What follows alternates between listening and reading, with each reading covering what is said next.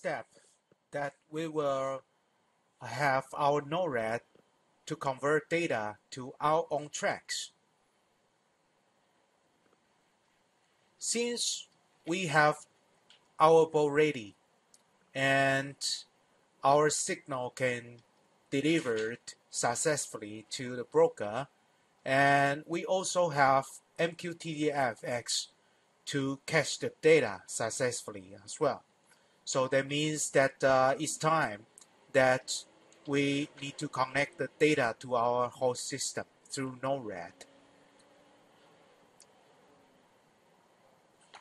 Okay, so here are a few steps that uh, we will do that. Okay, uh, we will have MQTT uh, to configure MQTT input node to receive the data from LoRa MQTT broker. Okay, so but as I said, explained in the in my source code that we shift some uh, GPS uh, GPS data. Uh, so we have to sh shift it back uh, for our use. So we will transfer, uh, convert the data uh, from the function uh, function in the Node-RED. Okay, then we will have the system, the another Node-RED node, MQTT output node to receive the data from the broker. Okay, so let's go to the system. Let's go to the browser.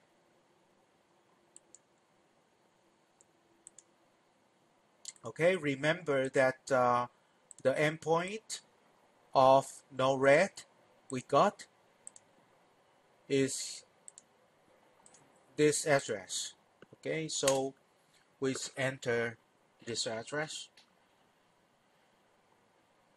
Okay, as you can see that uh, from the screen, we have not con uh, configured this part. That's why you see the uh, triangle over here.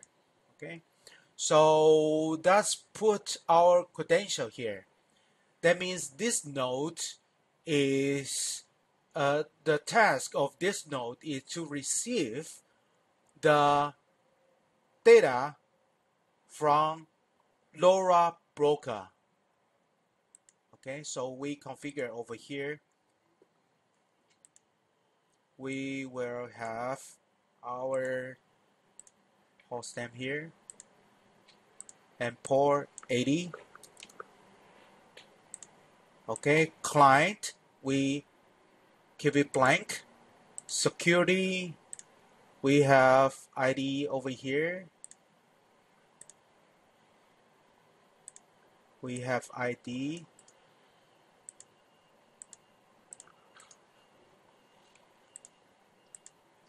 And the password.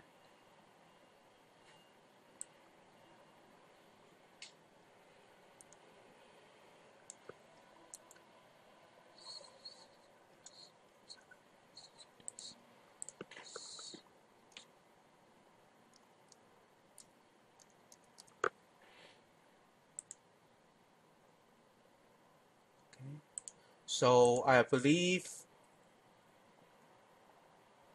that's correct. About the topic, remember that we have to set exactly this topic because that is the channel that uh,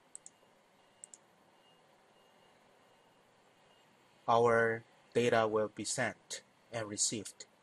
So get it done okay? As you can see that uh, is uh, green now is improved. But we have not applied the changes so we will click the deploy. Let's see what happened. Okay so it shows is uh, correctly. Okay but it shows disconnected. Let's see what happened. That means double check to make sure the client is okay. And the security number not sure if the password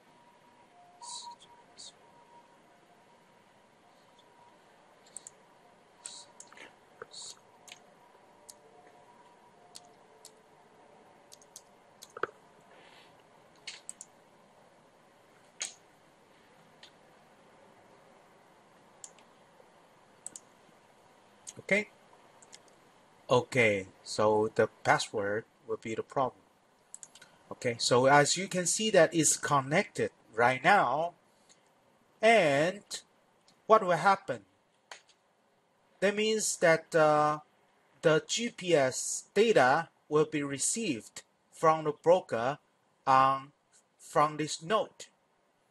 And the data will go through here a function, okay, and send back to our Mosquitto broker. Let me explain this. That uh, if we can see that that uh, this note is a incoming note, receive a data from here, then send it back to Mosquitto, and we would that the data to receive again. Okay, so why do we do that? Let me explain to you. What will this function do?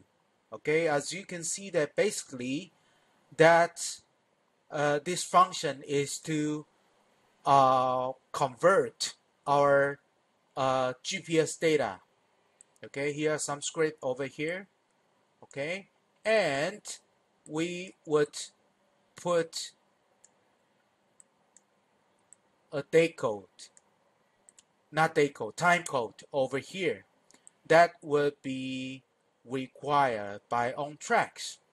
Okay so we will reformat to another data set that that OnTrack can understand. As you can see that uh, you need ID, okay, okay, and latitude, longitude, battery, TID, time, and type, okay. So those are information that OnTrack and understand. So that's why that we have to do it here for convenience.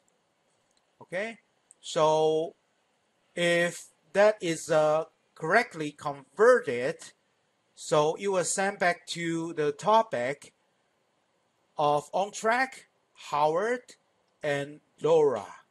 Okay, so if you use a different name, that you might want to change here. Okay, but in my case, I will use LoRa. I, I will use Howard, and device name is called LoRa. If everything is correctly set up in the debug port that we would expect to receive a signal converted. Okay, so that's that see what would happen. So if the data is well is success, successfully delivered to the server, then this node would receive every data from our broker.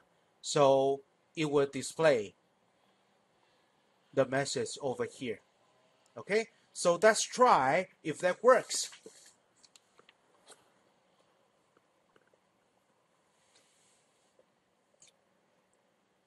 Okay, let's try the sample data first.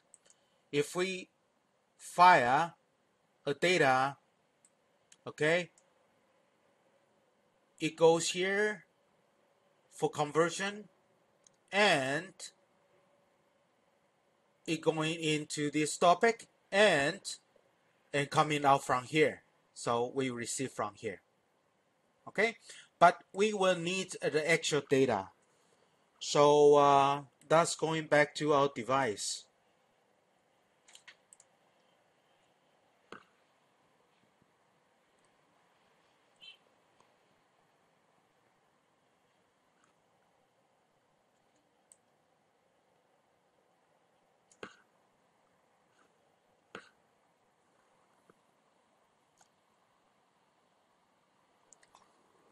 Okay. Just assume that uh, this device is running independently that I will fire a stick signal okay by touching the G sensor.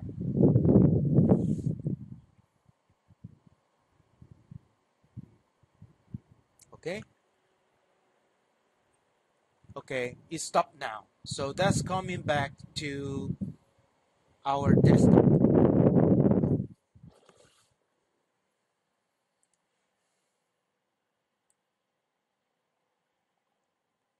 okay?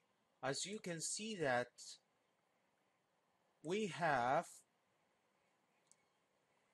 we have received a data which is actual data from our device. Is 04000410 that will be the MAC address of my device okay? And here is uh, the location. And the battery is not high.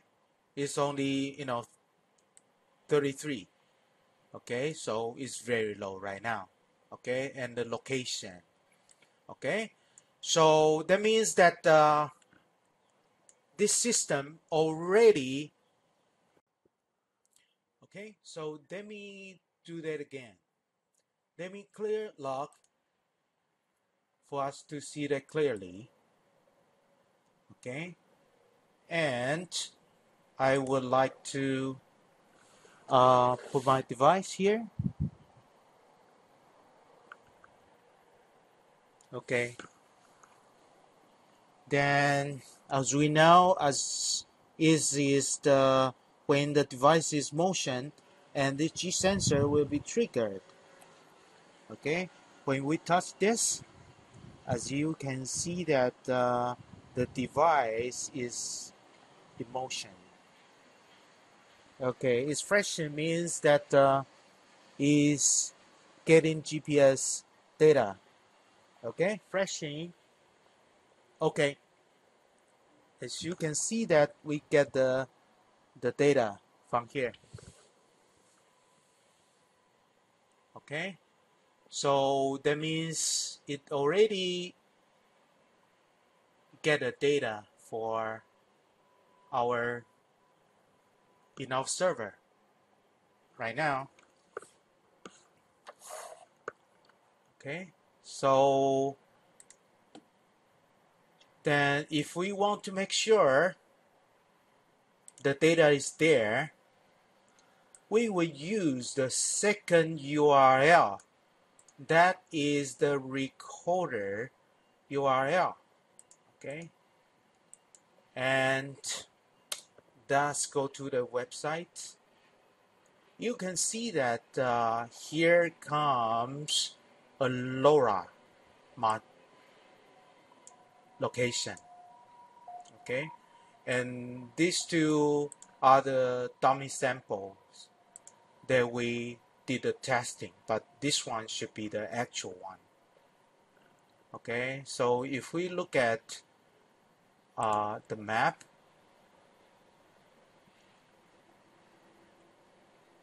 you're gonna see this. And we try to auto zoom it and you will see